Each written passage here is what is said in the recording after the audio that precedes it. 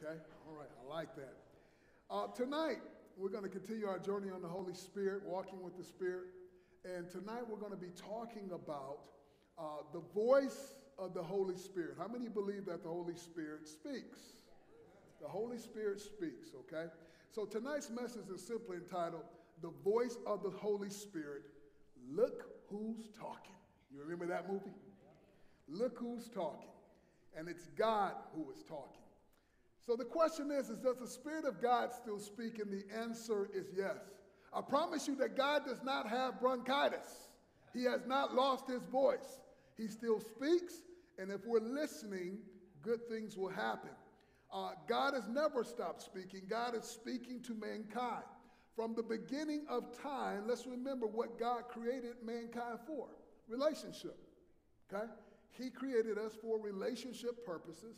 And one of the key components to any good relationship is communication, correct? If you don't talk to somebody, you don't know that person. You have to communicate with them in order to get to know them. And this is what God created mankind for. God has been trying to communicate with us from the beginning. Coming to the garden, and He would fellowship with Adam and Eve. There was communication. The Spirit of God was speaking, and God is still speaking. We live in a time when it's an essential thing that you know the voice of the Holy Spirit. We just come out of a pandemic. And God forbid that uh, we're hoping and praying that it's just over, right? We have found out how necessary it is to be able to hear the Spirit of God, to be able to know the Spirit's voice. We have just, we're sitting here on television, you cut on and you see wars and rumors of other wars that may start. We need to hear the voice of the Spirit of God.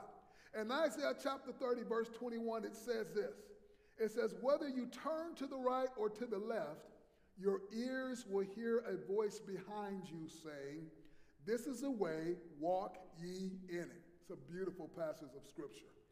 I like to paraphrase it like this for this day and age. Whether you are tossed, not whether you turn, whether you are tossed to the right or tossed to the left, your ears will hear a voice saying to you, Swim in this direction.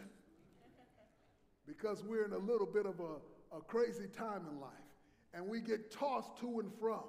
And we need to hear the voice of the Spirit tell us which direction we need to swim in, which direction that we need to go. This is not up here on the slides, but I want you to write this down. Acts chapter 28, verse 25 through 26. And I just want to build the case for the Spirit of God speaking. It says this The Holy Spirit spoke the truth to your ancestors. Who spoke the truth? Who spoke the truth?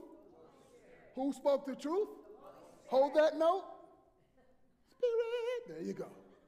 The Holy Spirit spoke the truth to your ancestors when he said, through Isaiah the prophet, go to these people and say, You will be ever hearing but never understanding. You will be ever seeing but never uh, perceiving. The Holy Spirit spoke. In Hebrews chapter 3, verse 7 through 11, write it down. It says this it says, therefore, just as the Holy Spirit says, who said it? Who said it? That's because he speaks. Today, if you hear his voice, beautiful passage of scripture. Do not harden your hearts as when you were provoked, uh, when they provoked me, as in the day of trial in the wilderness, where your fathers tried me by testing me and saw my works for 40 years. He says, if you hear the Spirit's voice, do not harden your heart. John 13, John 16, verse 13, write it down. Just building the case. But when he, the Spirit of truth, comes, he will guide you into all truth. For he will not speak on his own initiative, but whatever he hears, he will speak. And he will disclose to you what is to come. I got good news for us, Grace Valley the Spirit of God is still speaking. God has not lost his voice. God has not gone silent on mankind. That God, the Spirit of God, is still speaking. And if we will listen, great things will happen. As a matter of fact, Jesus says this in John chapter 10, verse 27 through 29. I love it. He says, My sheep listen to my voice. My sheep hear my voice. Now, I want to capture this right here. I just want to stop here for a moment. My sheep hear my voice. And the word voice there, the Greek word, this is pretty cool. It is, the Greek word is phone, and it is spelled P H O N E. Phone. The scripture is literally saying, My sheep hear my phone. God is so cool, isn't he? I love studying the Word of God. I do. The things that, that, that, that you find here. He says, My sheep hear my phone.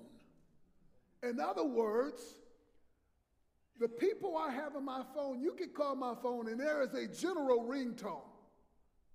But if my wife calls, that's a different ringtone. I need to make sure that that captures my attention. And that goes a little bit like this. When wife or children call, my ringtone is the Batman theme song, okay? Batman, Batman, that's, that's, makes me feel like a hero, okay? Listen. Do you know God's got a ringtone? It's about relationship. That when we're dialing in with Him, when we're calling Him, when He's speaking to us, what He's telling us is simply this I've got a special ringtone for you. That I know when it's you calling me. And that we are going to have a conversation, and it's not going to be a one way conversation where you do all the speaking. God, give me, God, give me, God, give me. God, do this, God, do this, God, do this. That there has to come a moment in our conversation with God that we remember that the Spirit also speaks. And that any productive uh, uh, conversation or communication means that I talk and then I. Have you ever had a conversation with someone who all they do is all the talking? You see them and you almost start going, let's be honest. God speaks, we listen. We speak, he listens. It is a, it's back and forth. It's back and forth. This is relationship. This is communication. My sheep hear my voice. I know them and they follow me. I give them eternal life and they shall never perish. No one will ever snatch them out of my hand. My Father who has given them to me is greater than all. No one can snatch them out of my Father's hands. So here's the question How does the Spirit of God speak? We're going to go through a, a number of points on how the Spirit of God speaks to us. Number one, write this down. He speaks through His Word. This is the first way that God speaks to His children. He speaks through His Word. 2 Timothy chapter 3, verse 16, 17 says this. All scripture is God breathed, and it is useful for teaching, rebuking, correcting, and training in righteousness, so that the servant of God may be thoroughly equipped for every good work. This is what we call the Logos word. The Logos word, the Greek word for this is Logos, and what it means, the it means the written word of God, okay? It means the written word of God. So God speaks through His Word, and the first way He speaks through His Word is He speaks through the Logos, Word of God. It is the written Word of God. It is the Bible. So when you're sitting down and you're reading what's on the pages there, this is Logos. This is Word of God. And everything you ever hear in your life should go back and line up with that Logos Word of God. If it is not written, when Jesus told the devil, when the devil said, Listen, why don't you toss yourself off this mountain? Doesn't the Bible say that God sent his angels and they would catch you? He said, That ain't Logos. That's not written. That's not how that's meant. Everything that we believe that God is telling us, it should correlate. It should be compatible with what is written in God's word. Rhema word is the second one. God may give you a rhema word. And what is a rhema word? A rhema word is a right now word. It is a word from Him. It is a word from the Spirit of God that gives you a sense of direction. It brings joy and excitement about the things of God. A rhema word is a word that, that, that is for your current situation, telling you what to do and giving you specific direction at that time. A scripture that will show us Rhema word is Romans chapter 10, verse 17. It says this. So then faith come by hearing, and hearing by the Rhema of God. A right now word from God. You ever been doing something and you get a right now word from God and it lifts your faith up? You ever been speaking and you get a right now word from God and you get clarity and direction? God wants to give you a rhema word, a right now word. Some of you may be going through some circumstances and some situations in your life even tonight, and you need a rhema word. Here's the thing about the Logos word the Logos written word of God. Since God is speaking to us through his word, when I am reading my word, guess what? He's speaking to me. When I'm not reading my word, if I live a life where I don't read the word of God, guess what? Silence, I have silenced him. I've silenced him. If I live a life where I read the word, God's going to speak. He's going to speak to me through his word. If I live a life where I don't read the word on a consistent basis, he, he, he's not speaking something to me here that I don't know. I've never read it. That's why you meet unbelievers who will say stuff like this to you when they see you doing something that they think is wrong. They'll go, they'll say, Don't the Bible say something about you not doing that? You ever heard somebody say that to you? I, I thought the Bible say, don't the Bible say something about Christians ain't supposed to be swimming? You're like, huh? Yeah, Jesus, didn't Jesus say, come follow me? And Peter was by the water and he ain't want to swimming in the water and he said, come follow me. No, that ain't what it was about, brother, okay? You hear unbelievers who don't know the word who will say, Doesn't the Bible say? But you're a child of God. You know what the Bible says because God has spoken to you. Have you ever studied your word and all of a sudden there was a scripture that just jumped off the paper? It was like an explosion happened in your heart. You could have read that scripture a million times. You've been saved for 30 years. You have read that scripture, John 3.16, a billion times. But today it just jumped off the page. That's Rhema. It's God saying you need this and you need it right now because of what you're going to going through. It's God saying, I'm going to give you this word and I'm going to give you this word right now, a Rhema word. There are people who have said that God have told them to do really strange things. There are people who have walked up to people and said, you know, God told me you my wife. That's, that's interesting because I'm already married. That ain't a rhema word. That's a wrong word. Doesn't line up with Scripture. Doesn't line up with the Logos word of God. You understand what I'm saying? If it doesn't line up with what is written, that's what Jesus said to the devil when he would come and he tempted him. He said, It is written. That doesn't line up with what my father said. It has to be written. It needs to line up with what God said. Listen, a rhema word can save somebody's life. I was talking to, I believe it was Miss Ortega a couple uh, weeks ago, and she was sharing with me a story of uh, uh, how she had a family member uh, who was in need, and she had no idea. She was just minding her own business, doing what she was doing that day. And uh, she said all of a sudden she got this, this sense, this feeling like she needed to go to her to one of her family members and visit them, that something was wrong. She said she grabbed one of her children. She went down to her family member's house. She said she began to knock on the door, and the person would not answer the door. And she said that was unusual. So she knew something at that moment was wrong. And if I'm correct, I believe she said she went to the window and she could look in the window and she could see that something physically had happened to one of her loved ones. She was able to make a call, and it saved their lives.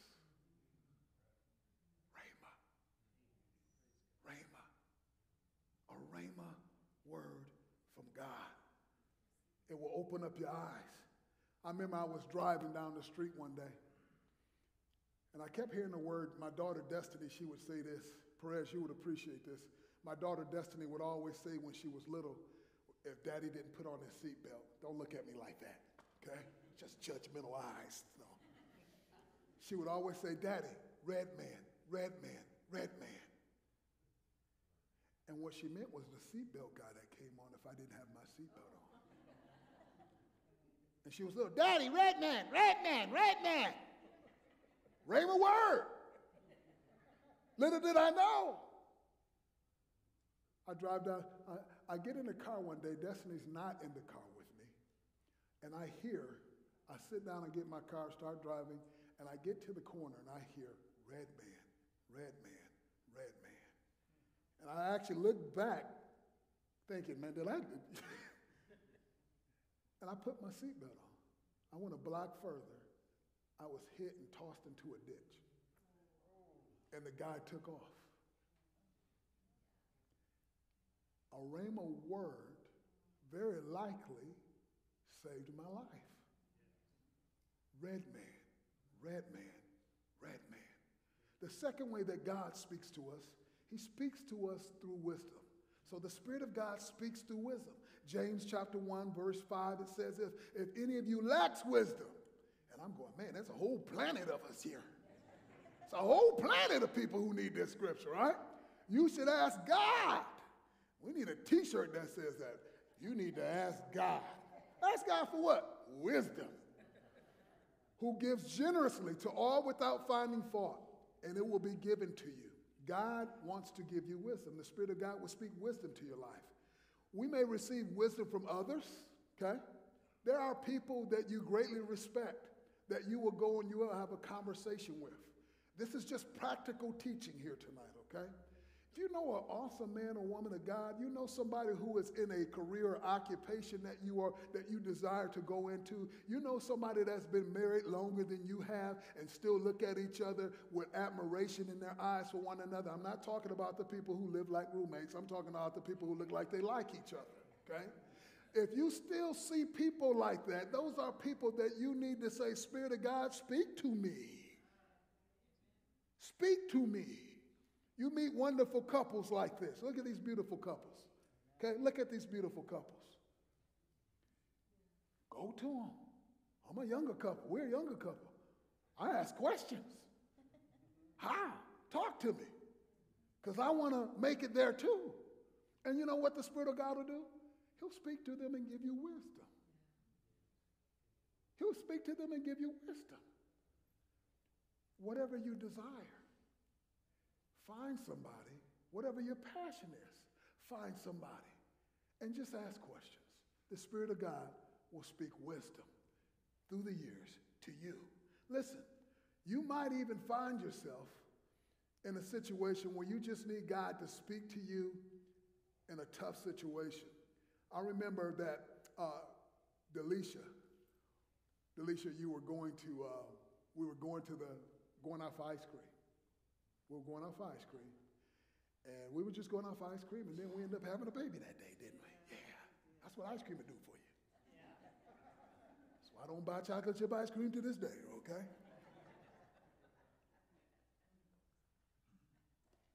We weren't prepared to have a baby that day, but we ended up at Covenant Hospital that day. The ice cream melted, and Brianna showed up. and it was an emergency.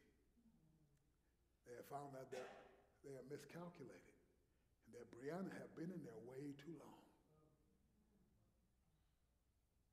And we had a little bit of wisdom come from a doctor. You got to have that baby today. I've come to give you a little bit of information as well, a little bit of wisdom today as well. Some of you, you got to have that baby today. That dream that's inside of you, I believe God is saying to you, it's time for that thing to come birth, to get birth this year. That thing that's inside of you, I believe that God is saying it's time for that thing to come forth out of you this year. That thing you've been contemplating, I believe it's time for that thing to get birth out of you this year. God wants to do something awesome in your life. You don't need wisdom to pick out the color of your dress or your shirt. You just, but you do need wisdom for the direction for your life. You don't need wisdom on what type of haircut you're going to get. Well, I won't always say that. But, uh, you know, but you do need direction for who you might marry. You don't need wisdom on whether or not you should brush your teeth or take a bath. But you should. but you do need wisdom on how to lead your family and to lead your children. This is just practical teaching tonight. Wisdom is a practical thing, and the Spirit of God will use it to lead us. The third thing that the Spirit of God will do when He speaks to us, He will speak through a whisper. He will speak through a whisper. I love this passage of Scripture. 1 Kings chapter 19, verse 11 through 13. It says, The Lord said, Go out and stand on the mountain in the presence of the Lord, for the Lord is about to pass by. Then a great and powerful wind tore the mountains apart and shattered the rocks before the Lord, but the Lord was not in the wind. After the wind, there was an earthquake, but the Lord was not in the earthquake. And after the earthquake came a fire, but the Lord was not even in the fire. And after the fire came a gentle whisper. When Elijah heard it, he pulled his cloak over his face and he went out and he stood at the mouth of the cave.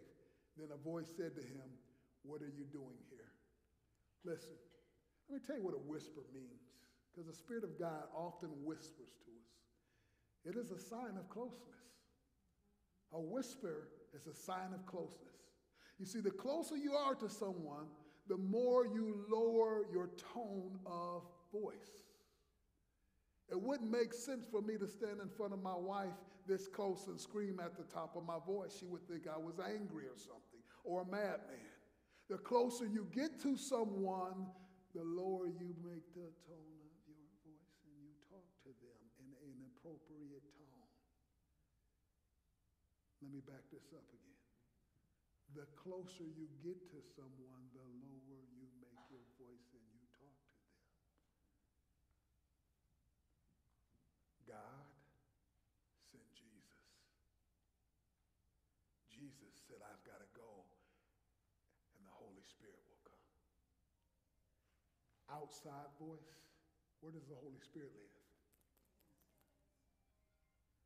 inside voice. He whispers to us. And he can whisper because he says, I'm that close to you. I'm that close to you. God, when he speaks to us, he uses not his outside voice, he uses his inside voice. He whispers to us, I'm that close to you.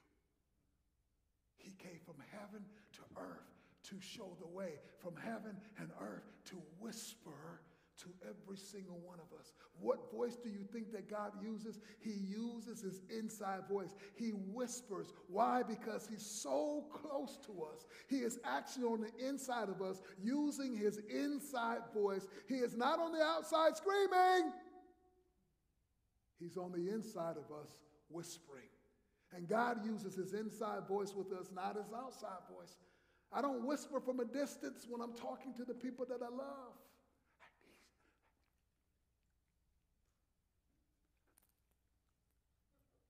She would say, What?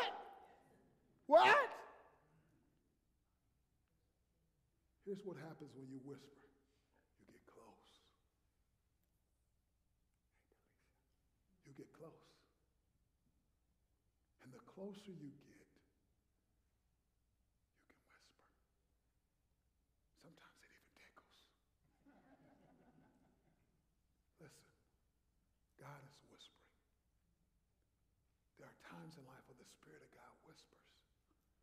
It is a it is an issue of closeness. And you know what I notice? I notice that in mankind we whisper when we want to say something important or we want to say something that's private. Know that God does the same? He does the same. Watch this. It says in the scripture, Psalms 25, 14, the secret of the Lord is with them that fear him and he will show them his covenant. That God also whispers secret things. It's a beautiful picture. That God also whispers secret things. Repeat after me. God, whisper to me.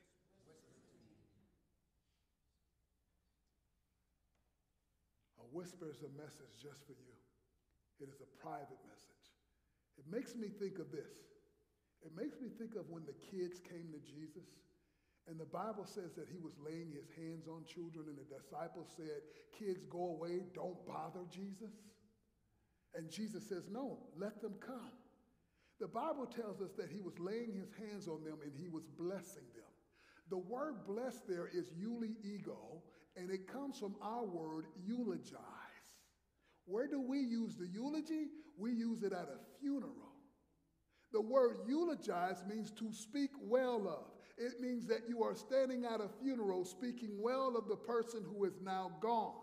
But what Jesus was showing us is that we use the eulogy or we eulogize people the wrong way.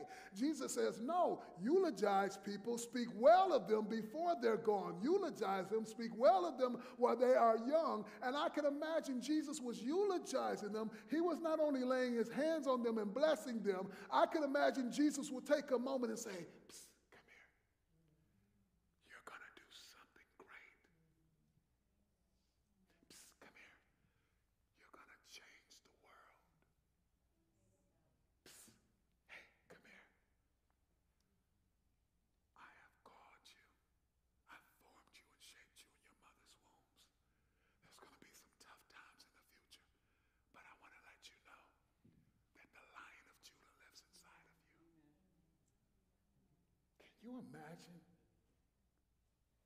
those children walked away and what they walked away with that day?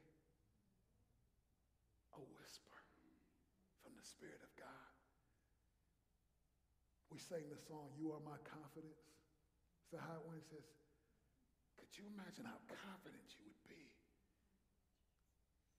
if he just whispered in your ear and told you who you were? Guess what?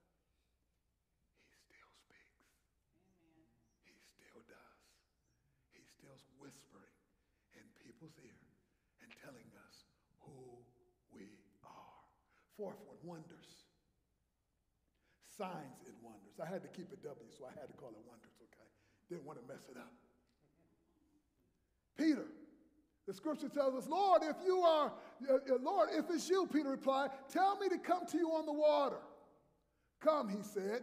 Then Peter got down out of the boat, walked on the water, and he came towards Jesus. He was saying, Jesus, I need a wonder. I need signs and wonders to let me know that this is the Spirit of God. This is God doing this. And Jesus said, Come. Some of us have been saying the same thing God, if you want me to go and do this, I need a sign, I need a wonder. Tell me to come. And he's going. Spirit of God is speaking. How about Gideon when he threw out a fleece and he says, Jesus, if this is you, I need you to speak. I'm going to throw out this fleece, and you know that the dew hits the ground and the blankets get wet. If this is you, I'm going to throw this on the ground. The ground should all be wet, and this fleece should be dry. He goes out, fleece is dry. But you know what we do? We go, okay, that's miracle number one. Let me tell you the next thing I need you to do, Jesus. We just, we, we just keep throwing things out. Here's the thing God will do signs and wonders. And the Spirit of God will speak through signs and wonders. All through our scriptures, we see it. But here's a question when He speaks through signs and wonders, do you believe Him? Because we would like to say, man, if God would do that, now I would understand. I would have heard that. That would be more like a shout, not a whisper. Really?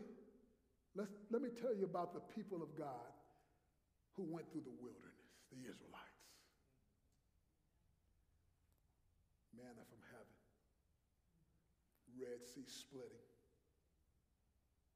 making it through the wilderness, God feeding them, God cloud by day, cloud by day, fire by night miracle after miracle after miracle after miracle after miracle after miracle. The Holy Spirit is speaking through every miracle. You are my children. I got you. And when they get to the promised land, they go, We still don't believe you, but if you would do one more thing,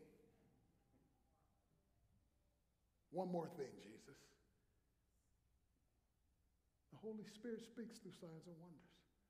But the question is, is at what point do we hear and believe and say, okay, Last one worship. Worship. I don't know personally if there's any greater time of my life when the Spirit of God is speaking to me than when I'm in worship. When I'm, we go back to that whisper when I said that God whispers secrets. When I'm in my secret place. Isn't it funny that he calls it that? When I'm in my secret place and God begins to speak to me. The question is, is where is my secret place? I began to look back over my life as we were putting this message together, and I began to go back and go, where were my secret places? Where were my secret places? I'll go, okay, when I was at my mom's house, my, my secret place was my bedroom. When I, that was where I would go and meet with God. Then somewhere between my mom's house and college, my secret place was in my, my, my uh, teal blue citation with the hole in the floor. But I would cut worship music on and, and I would meet with God in any parking lot sitting in my teal blue citation. And I said, when I got to college, my, my secret place, that place where God would meet me and whisper, that place of worship, that place of prayer, oh, it was the Catholic church that was on campus. And they would just leave it open for students. Interesting enough, many Catholics met there. I wasn't Catholic. So the way I went about what I was doing was probably a little strange.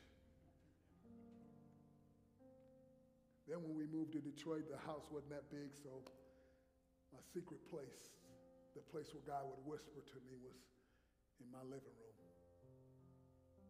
Then when we moved down to downriver Detroit to Lincoln Park, and I was on staff at a church there for a number of years.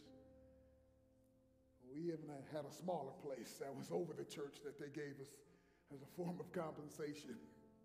They gave us an apartment to live in. And I could stand in my living room, my bathroom, in the kitchen at the same time.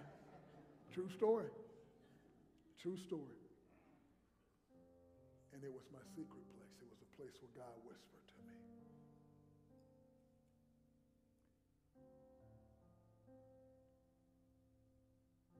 Then when we moved back to Saginaw, there was just listless. I was living on the south side of Saginaw. There was on Linton Street, and there was just this little room to the back of the house. It was just something somebody added on to the house. I said, that's my place. It's where I meet whispers secrets. I remember one day God said to me, he said, I want you today. I was praying because I felt like God had called me to nations. And I felt like he had still, he was still telling me, Brian, there's more for you. I'm going to put you on places where, where your voice will be heard, where you can proclaim the gospel of Jesus Christ. True story. And I heard the Spirit just speak to me, whispered. He said, Go through the house today and open every door. He said, Everything that has a hinge on open it and close it. It was amazing how many doors was in that tiny house. And when I would forget something, God would say, You forgot something. And I'd go and open and close, open and close, open and close, open and close, open and close, open and close, open and close, open and close. I was opening and closing everything that had a hinge on it. And I said, What is this about? And God said, By faith, I'm going to open doors for you now. I promise you, I was doing a little bit of speaking then. And then all of a sudden, I got a phone call from a guy by the name of Kirk Cullerson. And I told my wife, and my wife will tell you this. I said, man, I'm out here doing this. I said, but what I'm missing, I said, I'm missing something. And when I got back and me and Kurt ended up meeting, I got back, I said, you wouldn't believe what these guys are doing. I said, this is exactly what I was telling you about. She says, yes, it is. And for 15 years, every door that I opened in my house was every door that God opened. And we reached thousands of students. Thousands. of them. the Spirit and the bride, they say, Come. The bride,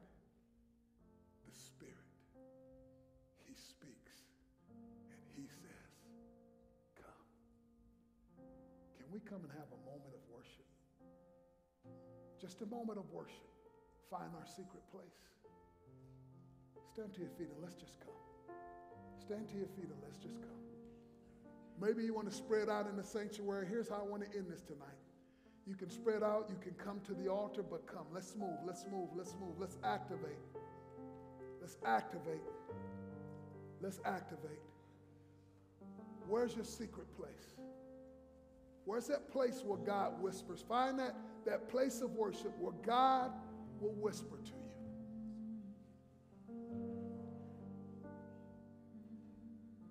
Yeah. Come on, let's go after him for just a moment here. Pastor Kelly.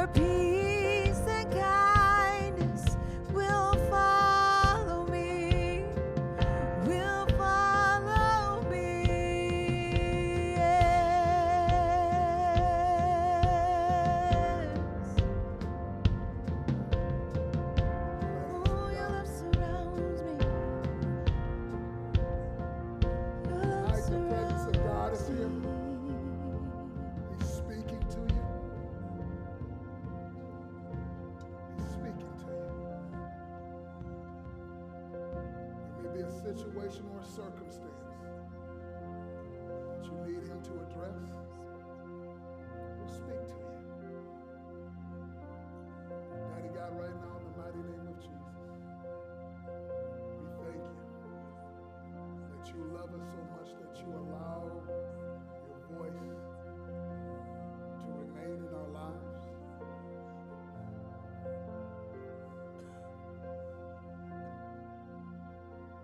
Thank you that the Spirit and the bride say, Come. We thank you for the safety of your voice. We thank you that you consider